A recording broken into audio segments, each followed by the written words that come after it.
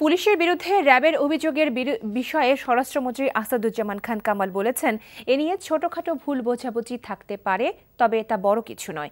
সকালে শিল্পকলা একাডেমিতে কেন্দ্রীয় খেলাঘর আসর আয়োজিত শিশুদের চিত্রাঙ্কন প্রতিযোগিতায় তিনি কথা বলেন। গণমাধ্যমে প্রকাশিত হয়, গত সাতাশ সেপ্টেম্বর র্যাপিড অ্যাকশন ব্যাটালিয়ন র্যাবের মহাপরিচালক স্বরাষ্ট্র মন্ত্রণালয়ে পাঠানো এক চিঠিতে অভিযোগ করেন অভিযানের সময় র্যাব সদস্যদের বাধা দিচ্ছে পুলিশ মারধর ও গালাগালির ঘটনাও ঘটছে।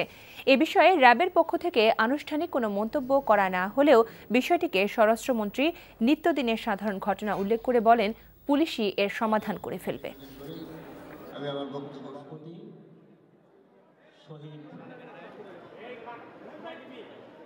পুলিশ এবং র্যাবের মধ্যে এই ধরনের দুই একটি ভুল বোঝাবুঝি থাকতেই পারে। ভাই বোন মানে সংসারে এইরকম দুই একটি ঘটনা ঘটতেই পারে। এই জন্য একদম মানে বিশাল একটা প্রচারণা প্রচার এগুলোর আমার মনে হয় এখনও এই- সেই সময়ে এখনও হয়নি। আমি মনে করি এগুলো এগুলো নিত্যদিনের ঘটনা এইগুলো আহ, আবারও মানে এই ধরনের কোনো তেমন কোনো ঘটনা ঘটেনি যে তাদের মানে র্যাব এবং পুলিশের সম্পর্ক নষ্ট হবে।